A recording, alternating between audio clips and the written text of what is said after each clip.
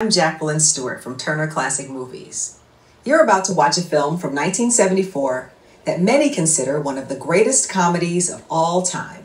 From director Mel Brooks, it's Blazing Saddles.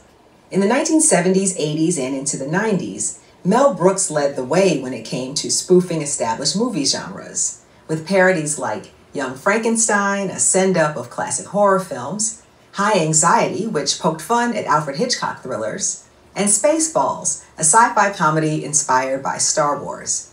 But it was Blazing Saddles that started it all. This movie is an overt and totally audacious spoof of classic westerns, and it's as provocative today as it was when it premiered back in 1974. The story takes place in a cliche of an old western town called Rock Ridge, which happens to be located directly in the path of a railroad that some crooked politicians are trying to build. One of those politicians, played by Harvey Korman, decides that the easiest way to get the townspeople to give up their land is to install a black man as the new sheriff. He figures the locals will be so bigoted that they'll just get up and leave the minute he rides into town.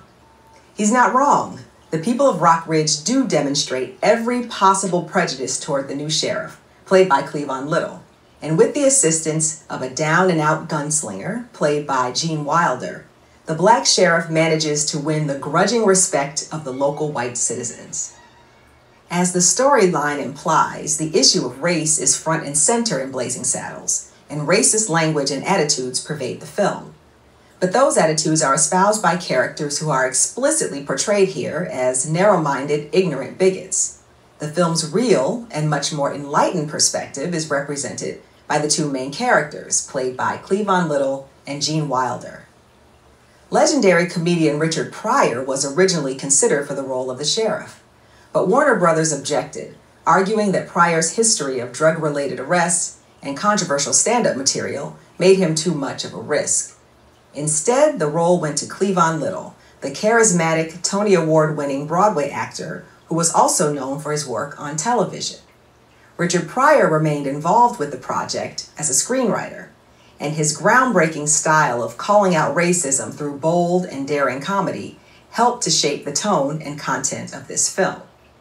It blended well with Mel Brooks' own daring approach to comedy, where absolutely nothing is off limits and jokes can tackle any and every sensitive subject.